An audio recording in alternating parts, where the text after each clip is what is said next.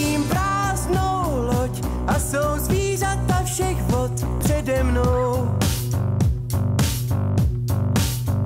Celý zástup jmen, všem se zdál týž sen, až stanou.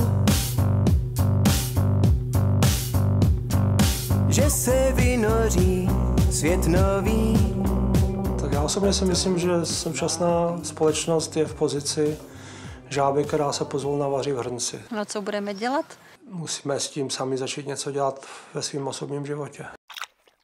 Nestačí maličko. Jo. Dneska je takový jako pěkný citát, že když každý udělá maličko, tak dohromady uděláme maličko. Jo. Často to slovo třeba ve svém okolí slyším, změna. Jo. Ale taky je zatím cítit nebo slyšet ten otazník. Jo. Kdy, co, jak.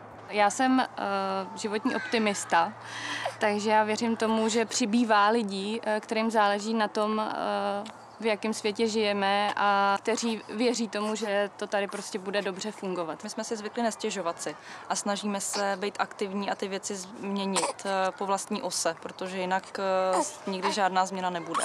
Teď ty prezidenti, tohle to tady bylo, bude za 4 roky, za 8 let, tak bude další, ale my tady žijeme nějakých 70, 80, 90, případně 100 let. Jako. Lidi mají držet při sobě, lidi mají přece ty hodnoty daný. Jo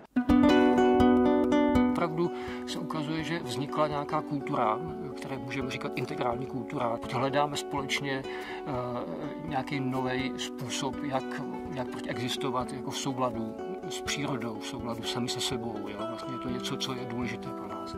V okamžicích krize eh, je kreativita jedna z nejlepších věcí. Ten svět potom může být tak hezky barevný. A když to pustí, tak já...